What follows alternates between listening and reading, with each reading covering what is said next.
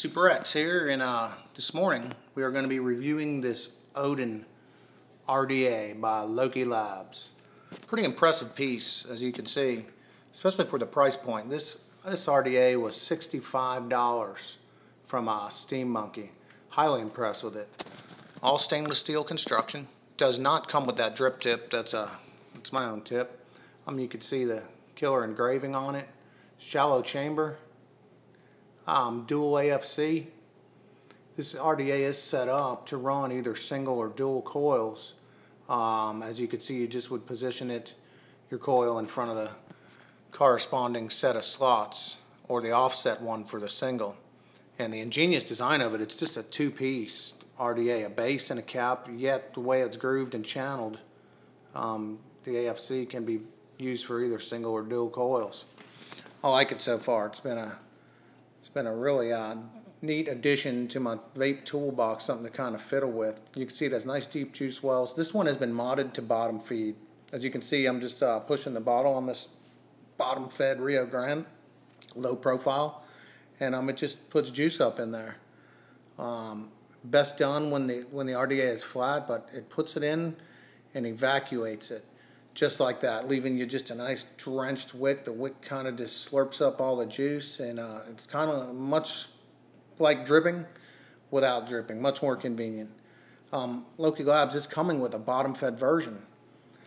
So here I've slapped some coils on it. These are uh, dual 30 gauge coils, netting about 0.94 ohms. They're around a 14 gauge needle. I know, I know, standard size coils. But um, I found that works best on this dual coil larger chamber RDA for me right now. A lot of more experimenting to do, but for now that is that's hitting it pretty good. So um, yeah, they're I'm just started making duals. This is actually my third set. My first set was unsuccessful. My second I've run for almost a week, and now I decided to throw another set on there. And um, not the hardest thing to do, and not the easiest. Here I've put in some dough. I'm just showing you kind of the path I took. Probably going to keep experimenting with different paths. However, having vaped this now for a while, this is a voiceover, um, that, that really vapes nice. It's excellent. So initially I wet the wick with a kind of a very generous squonk. Um, juice is coming up through the bottom. And squonking, obviously pressing the bottle, putting juice up in there. So the wick just gobbles it up. Um, and that's it. Then I, I mean, it you get a massive amount of big ginormous hits between squonks too. So um, it's pretty amazing the way this works. Very different than the standard 14 millimeter single coil setup I run. I, like I said, I like it. It's a great addition to my box of fun.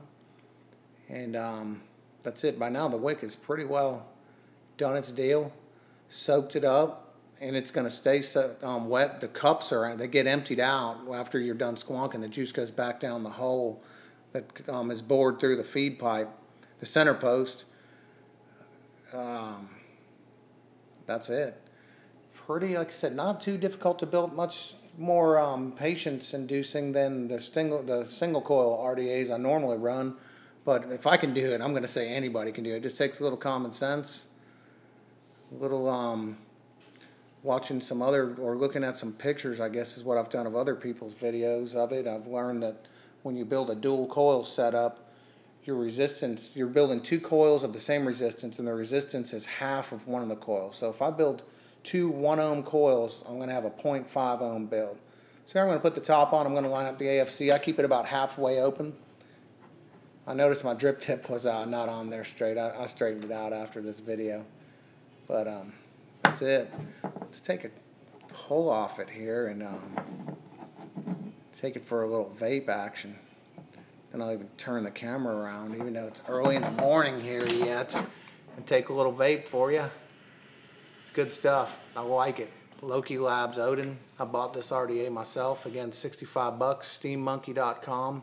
Good stuff. I can highly recommend it to anybody that is um, into this stuff and keep your eyes open for Loki Labs coming out with their bottom feed version. I hear it's about three weeks out and it, that looks to be pretty exciting.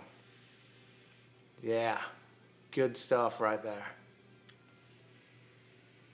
Good stuff. Super X saying see ya.